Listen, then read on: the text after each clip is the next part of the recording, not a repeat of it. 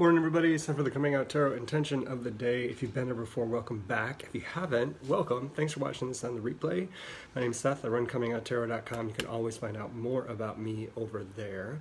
The tarot intention of the day is a way for you to approach your day with mindfulness also thoughtfulness and awareness so that you can go through your day with some actionable advice that you can use to move, hey April, hey Geneva, to move the outcome of the events that occur during the course of your day in the direction you'd like them to go. Hey Brienne, that's the point of the intention of the day. Hey Kat, if you're not quite sure how to put that into practice, and I definitely recommend checking it out at the end of the day. Good practice anyway.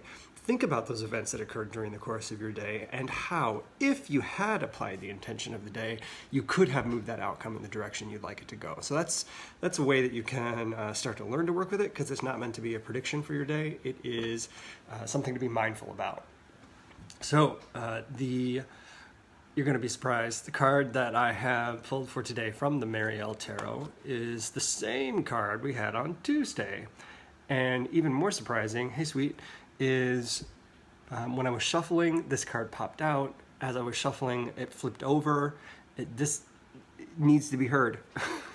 so, um, a um, little bit different than what it was on Tuesday. Doing well, thanks. How are you? Different than what it was on Tuesday. Um, Tuesday was more about frenetic energy. Like, uh, how do we get things under control?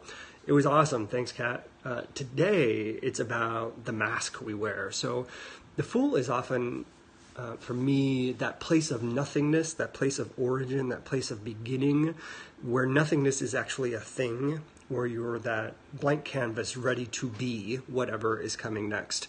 Uh, in this case, the Fool is. Um, not allowing that blank canvas to be available. The Fool's put on, this is who I need to be seen as, and this is who I am.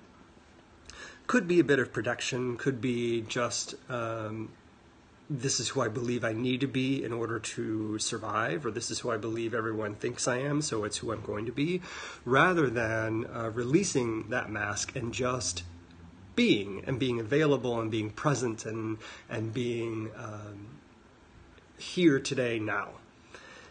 So that's actually the intention of the day. If you're wearing that mask, what is it? Why is it there? Is it time to get rid of it? Do you need to keep it?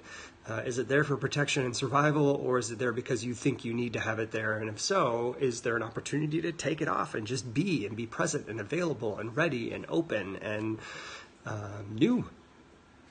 So that's your intention for the day. I hope it's helpful. If it is, hey Melly, uh, if it is, please share with other people. Please pass it, pass it on far and wide. And if you're not following me, please follow me so we can keep track of each other. Then let me know how it goes. Drop me a line on any social media channel, same handle, Coming Out Tarot.